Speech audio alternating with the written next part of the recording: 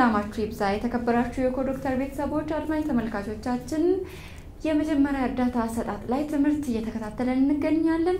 ዛሬ ደግሞ ውሻ ለነከሰው ሰው ወይም ደግሞ እባብ ለነደፈው ሰው እና ለመሳሰሉ ችግሮች እንዴት የመጀመሪያ እርዳታ እናደርጋለን የሚለውን አብረን የምናየው ይሆናል። ለቻናላችን አዳዲስ የሆናችሁ ሰዎች subscribe፣ like፣ comment በማድረግ እንዲሁም አዳዲስ ቪዲዮዎች እንዲደርሷችሁ የደውል ምልክቷን እንድትጫኑ በአክብሮት እየጋበዝን ለማንኛውም የጤናው ጥያቄ ሰባ 24 ላይ በመደወል ዶክተራችሁን እንድታማክሩ እንድትታከሙ ከወዲሁ እየጋበዝን ወደ ትምህርቱ እንለፍ።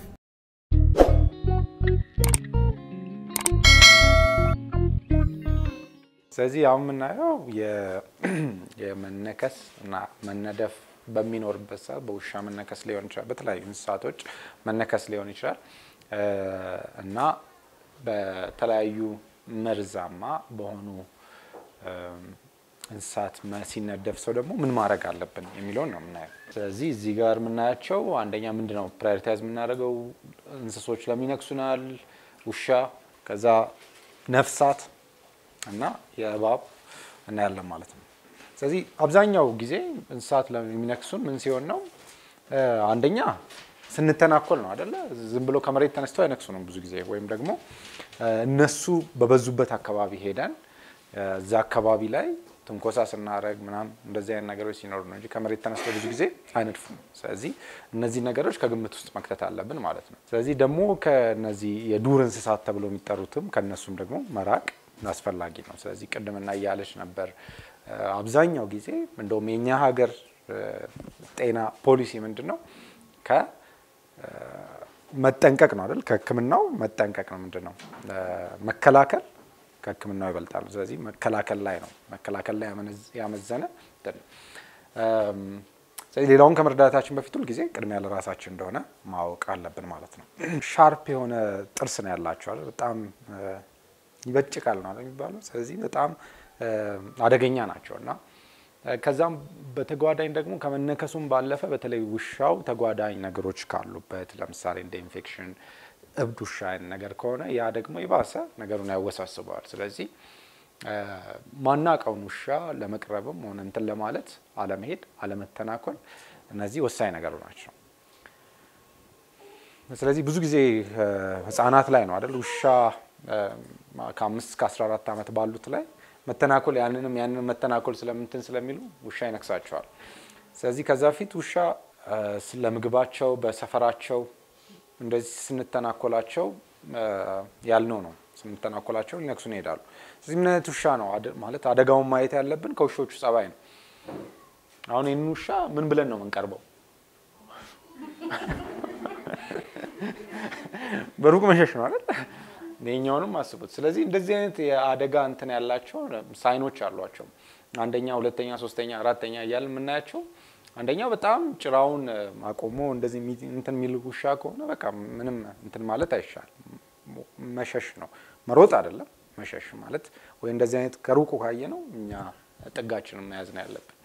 ደግሞ በሮጥን ጊዜም ደግሞ ሌላ አደጋው አሯሩጦ የመንከስ እንትን አለው አይደለ? ስለዚህ እንደዚህ አይነት ውሻ እንትን በምንልበት ሰዓት መሮጥ የለብንም። መቆም፣ ቁጭ ማለት እንደዚህ አይነት እንትኖች ነው የምንከተለው ማለት ነው። ስለዚህ ሌላኛው ደግሞ አብዛኛውን ጊዜ እንደዚህ በተለይ መንገድ ላይ የሰፈር ውስጥ የሚዞሩ ውሾች ለሀጭ አይነት ነገሮች የሚታዩ ከሆነ ያ አብዛኛውን ጊዜ አደጋ አለበት ማለት ነው። ለምሳሌ የእብድ ውሻ በሽታ ሊኖርበት ይችላል ማለት ነው። ስለዚህ በጣም ቅብጥብጥ የሚል ውሻ ከሆነ ከበሽታው የተነሳ እነዚህ መገለጫዎቹ ናቸው እና አረፋ ማድፈቅ፣ እንደዚህ ምንም በሌለበት እንደዚህ ማለት የእሱ ምልክቶች ናቸው። ስለዚህ ምን ማድረግ ነው ያለብን? ሊያጠቃን ሲመጣ አንደኛ መሮጥ የለብንም ቅድም እንዳልነው፣ ሁለተኛ መጮህ፣ አንደኛ ሌላኛው ደግሞ መጮህ ነው በቃ እና ለእርዳታ መጮህ ወይ ደግሞ ባለቤቱን ለማግኘት መጮህ። ስለዚህ የውሻው ባለቤት ካለ አካባቢ ላይ ወደዛ መጮህ ነው እና ለእርዳታ መጮህ ነው። ሌላኛው ደግሞ ሌላ የምንወጣበት ነገር ካለ ለምሳሌ ዳገት ምናምን ካለ ዳገቱ ላይ ወይ ደግሞ የሆነ ወንበር፣ ጠረጴዛ ምናምን እንደዚህ አይነት ነገሮች ካለ እዛ ላይ መውጣት ነው፣ ዘሎ እዛ ላይ መውጣት ነው።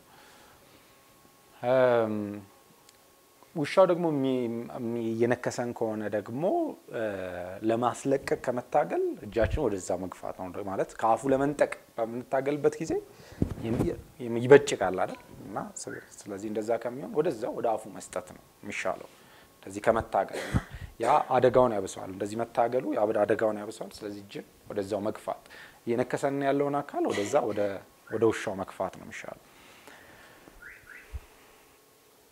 ስለዚህ አንዴ ከነከሰን በኋላ ደግሞ ወዲያው የሕክምና እርዳታ ማግኘት መቻል አለብን። በተለይ ውሻውን ማናውቀው ከሆነ ቤት ውስጥ ያልሆነ ውሻ ከሆነ የመንገድ ውሻ ከሆነ ወዲያው ሕክምና ማየት ተገቢ ነው ማለት ነው።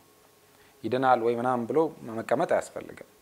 ምክንያቱም በኋላ የጎንዮሽ ጉዳቱ በበዛ ጊዜ ሄዶ ከማየት ወዲያውኑ መጀመሪያ ላይ ማየት ነው የሚሻለው። ስለዚህ የሚደማ ነገር ካለ ወዲያው pressure apply ማድረግ ቅድምና እንዳየ ነው። ወዲያው ጋር እንደምናየው የሚደማ ከሆነ apply ማድረግ pressure cover the wound sterile ስለዚህ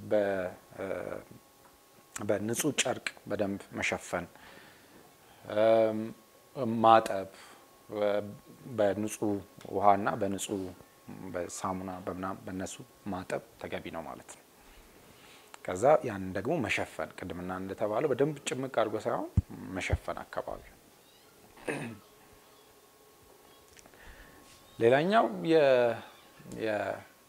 የነፍሳት የነፍሳት ደግሞ በሚነክሱበት ጊዜ ያው ስለዚህ ያበደ ውሻ በሚነክሰን ጊዜ አንደኛ ቫይረስ ነው አይደለ? ስለዚህ የሚከተለው ኢንፌክሽን ነው። አንደኛው ከቦታው አኳያ ከነከሰን ቦታ አኳያ ኢንፌክሽን ይከተላል። ከዛ ደግሞ system አችን ውስጥ በሚገባበት ጊዜ አንደኛ ይሄ ትኩሳት፣ እነዚህ ሲያመን ኢንፌክሽን ሲፈጠር የሚታዩ system ውስጥ ሲገባ የሚታዩ እንትኖች አሉ። ስለዚህ ትኩሳት ለምሳሌ ወደ ላይ ወደ ላይ ማለት ከዛ ደግሞ ኢቨን እንትን እያለ ከሄደ ደግሞ ራስን የመሳት እንደዚህ አይነት ምልክቶች ናቸው የሚታዩት እና እነዛ ምልክቶች ወዲያው ወደ ሕክምና እነዚህ ዝም ካል ናቸው እነዚህ ምልክቶች ዝም ካል ናቸው ወይም ደግሞ ኢንፌክሽን ሰውነታችን ውስጥ ገብቶ ወይም ሲስተማችን መርዞን ከሆነ በኋላ ምንድን ነው የሚሆነው? ሾክ ውስጥ ነው የሚገባው። sepsis የሰውነት የሰውነት መመረዝ በኢንፌክሽን መመረዝ ነው የሚሆነው። ስለዚህ ቶሎ ሕክምና ማግኘት መቻል አለብን። ቶሎ ሕክምናው መሰጠት አለበት። የውሻው ምናምን ይኖራል? አይ አይደለም። ሌላኛው ነፍሳት በሚነክሱን ጊዜ ነው። ሌላ ያው ብዙ ጊዜ የተለመደው የተርብ ንብ፣ እነዚህ በሚነክሱን ጊዜ ያው ወዲያው ምን አይነት ምልክቶች እናያለን? ሰውነት የማባበጥ የተነደፈበት አካባቢ የመበለዝ የማበጥ እንደዚህ አይነት ምልክቶች እናያለን። ስለዚህ መጀመሪያ ቅድምና እንዳለው ይህንን መከላከል ነው። እንደዚህ አይነት ለምሳሌ የንብ ቀፎ በምናይበት ጊዜ በባዶ ሄዶ ላለመተናኮል፣ ብዙ ጊዜ ተርብ ደግሞ ቤቶች ላይ ቤቶች ጥግ ላይ ምናምን እንትናቸውን ይሰራሉ። ቀፏቸው ቀፎ ነው የሚባለው እንትናቸው። ስለዚህ ሄዶ ያንንም ዝም ብሎ አለመተናኮል ያ ተገቢ ነው እና ግን ያን አድርገን ደግሞ ድንገት እንኳን ብንነከስ ምን እናደርጋለን? አብዛኞቹ መርዛማ እንትኖችን ይይዛሉ። ስለዚህ ወዲያው ቅድምና እንደተባለው allergic አይነት reaction የሰውነት መቆጣት እና በጣም የማባበጥ አካባቢ ላይ እንደዚህ አይነት ምልክቶች ይታያሉ። ስለዚህ ምን እናደርግ? ያው መጀመሪያ ማረጋጋት ነው። የተነከሰ ሰው ወይ ምናምን ካለ ሰውየው ማረጋጋት ነው። ሁለተኛው ፕሬዠር አካባቢ ላይ እንትን ማሳረፍ ነው እና ፕሬዠር ቀጥታ ማሳረፍ። ከዛ ሁለተኛው በጥቂት ጊዜ በበረዶ በትንሽ በረዶ አካባቢው ላይ ማሳረፍ ነው መጫን። ስለዚህ ከዛ በኋላ ይሄንን አድርገን ደግሞ ምንም ለውጥ ማናይ ከሆነ ወዲያው ደግሞ ሕክምና site ኦችን እንዲያይ ማድረግ ሌላ ፊት አካባቢ እነዚህ መተንፈሻ አካባቢ የሚነደፍ ከሆነ እንደምታዩት ነው እና ስለዚህ ይሄ ምንድን ነው ሰውየው በቂ አየር እንዳያስገባ ያደርገዋል ማለት ነው። ምክንያቱም ፊቱ አባብጠዋል፣ ምን ብለዋል፣ አፉ አባብጠዋል። እንደምታዩት እንደዚህ በሚሆንበት ጊዜ ወዲያው ወደ ሕክምና ተቋም ነው መውሰድ ያለብን። ስለዚህ ምንም ይሄ እንትን እንደዚህ እያደረግን እናቆየው ምናምን የምንለው ጉዳይ አይደለም። ወዲያው call for help፣ ወዲያው አምቡላንስ መጥራት፣ ወዲያው ወደ ሕክምና ተቋም መሄድ ነው ያለበት። ምን ምልክቶች ይታያሉ? ያው እንደተባለው ነው። በጣም አካባቢው ላይ ሊቀላል፣ ያብጣል፣ ሰውነት ይቆጣል እና በተለያዩ አካባቢዎች ደግሞ እንትን ስንል የተለያዩ አካባቢዎች በተለይ አሁን ቢንቢ ምናምን ሲል ከሰውነት ላይ የማባበጥ የመቅላት እነዚህ እነዚህ ምልክቶች ይታያሉ። ምን እናድርግ ማለት መከላከል ነው ካለን ይሄ በተለይ ወባ ወይ ደግሞ እንትን ቢምቢ በሚበዛበት አካባቢ ቅባቶች አሉ። ስለዚህ እነዛን ቅባቶች መጠቀም እነሱ ደግሞ ሰውነታችን ላይ እንዳያርፉ ያደርጓቸዋል ማለት ነው አሉ ፋርማሲ ላይ እና እነሱን ቅባቶች በመጠቀም መንቀሳቀስ።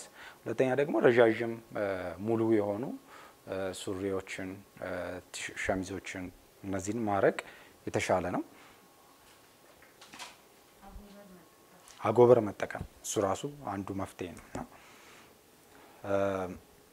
ሁለተኛ ደግሞ ልክ ይሄም ከሆነ በኋላ ፊታችንን መሸፈን አሁን ፊታችን አካባቢ ከእንትን ከእንትን ከሚል እግሮቻችን እጆቻችን ብንሰጥ ይሻላል። ያንም ፊትን መሸፈን የተሻለ ነው። ሌሎቹ ደግሞ ለሌሎች ደግሞ ይህን መረጃ ማቀበል ሌላኛው ነው። ስለዚህ ያው እንትን መተን ለምሳሌ ቢምቢ ቢምቢ ያልኩኝ ንብ ስለዚህ ይከተለናል። እስከ አራት ሜትር የመከተል አቅም አላቸው አይደል?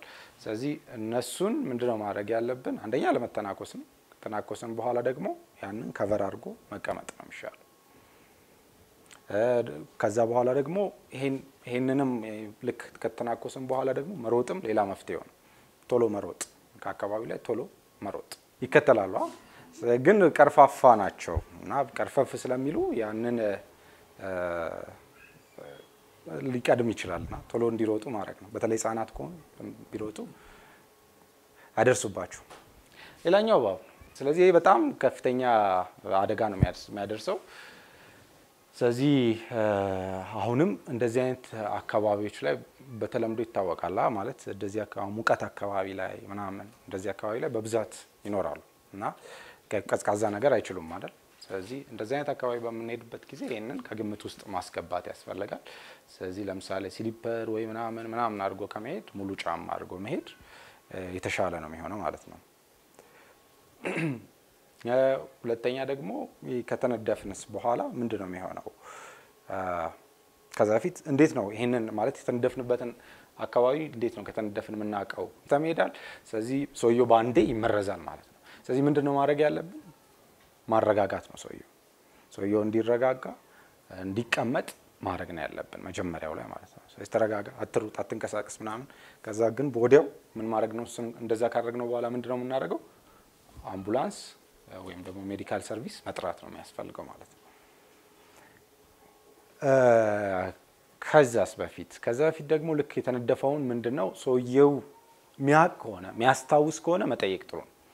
የእባቡን አይነት መጠየቅ ጥሩ ነው። እባቡን እንዲይዝ አይደለም ማለት እባቡን ይዞ እንዲጠብቅ አይደለም እና ግን ከተቻለ የሰውየው ራሱን የሚያውቅ ከሆነ የተረጋጋ ከሆነ በተለይ በጣም ብልጭ ምናምን የማይል ከሆነ በስልኩ የእባቡን አይነት ፎቶ እንዲያነሳ ማድረግ ከዛ ያን የእባብ አይነት ሕክምና ቦታ ሲሄድ ማሳየት እሱ ተገቢ ነው። ወይ ደግሞ ምልክቶቹን መስጠት እንደዚህ አይነት እንደዚህ አይነት ከለር እንደዚህ ነበረው የሚለውን ምልክቶች መስጠት፣ አካባቢውን መንገር። ከተነደፈ በኋላ ደግሞ ሰውነቱ ከማባበጡ በፊት ቀለበቶች ምኖች ምኖች ካሉ ቶሎ ማውጣት ተገቢ ነው። ምክንያቱም ካበጠ በኋላ በጣም እያበጠ ሲሄድ ሌላ እንትን ነው የሚለው ኮምፕረስ ነው የሚያደርገው። ስለዚህ እነሱን ማውጣት ተገቢ ነው። ወደ አምቡላንስ መጥራት፣ ሰውየው እንደዚህ ማረጋጋት ተገቢ ነው። ስለዚህ እግሩ አካባቢ ከሆነ የተነከሰው ያን አካባቢ ሰውየው ካረጋጋን በኋላ ያክና አካባቢ ማጽዳት ተገቢ ነው። መሸፈን ማለት እንትኗን የተነከሰበትን አካባቢ ሳይሆን ከሱ ከፍ እና ዝቅ ብለን ያንን መሸፈን ተገቢ ነው። ከዛ የተነከሰውን እግር ወይ እጅ ደግሞ ከልብ በታች ወደ ታች ማድረግ ማለት ነው። ስለዚህ ለምሳሌ እግር ላይ ከሆነ የተነከሰው እግርን ወደ ታች ማድረግ፣ ስለዚህ ወደ ታች እንዲህ ሰቅሎ ሳይሆን ወደ ታች ማድረግ ማለት ነው። ስለዚህ ሌላኛው ደግሞ do not apply tourniquet bandage or ice wound slash wound or knife። ስለዚህ የተነከሰበት አካባቢ ቢለዋ ወይም ደግሞ አፍኖ ለመያዝ ማስቀን tourniquet በጣም መቋጠር ምናምን አያስፈልግም። ወይ በቢላዋ ለማውጣት ወይ እንደዚህ አይነት ሙከራዎች አያስፈልጉም። ሰውየውን ማረጋጋት፣ አካባቢውን ማጽዳት፣ አካባቢውን የተነከሰበትን አካባቢ ላይና ታች ማጽዳት፣ ሰውየውን እግሩን ወደ ታች እንዲያደርግ ማድረግ እንደሱ አድርጎ አረጋግቶ ማስቀመጥ ነው ማለት ነው የሚሻለው።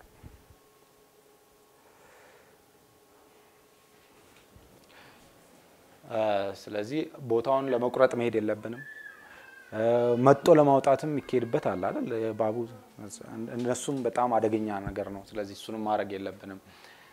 ሌላ እባቡን ለመያዝ መሞከር የለብንም። ይሄ ምልክቱንና አይነቱን አካባቢውን ከተናገርን ብዙ ጊዜ ልታወቃል። ከተቻለ ፎቶ ማንሳት የተባለው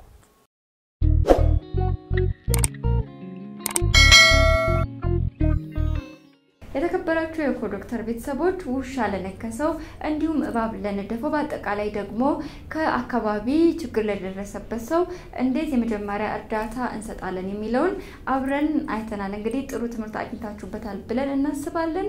ለዛሬ ይዘንላችሁ የቀረብነው ይህንን ይመስል ነበረ። ለማንኛውም የጤናው ጥያቄ ሰባ 24 ላይ በመደወል ዶክተሩን ያማክሩ፣ ይታከሙ እንላለን። በቀጣይ ቪዲዮ እስከምንገናኝ ድረስ ባሉበት ጤና ይስጥልን።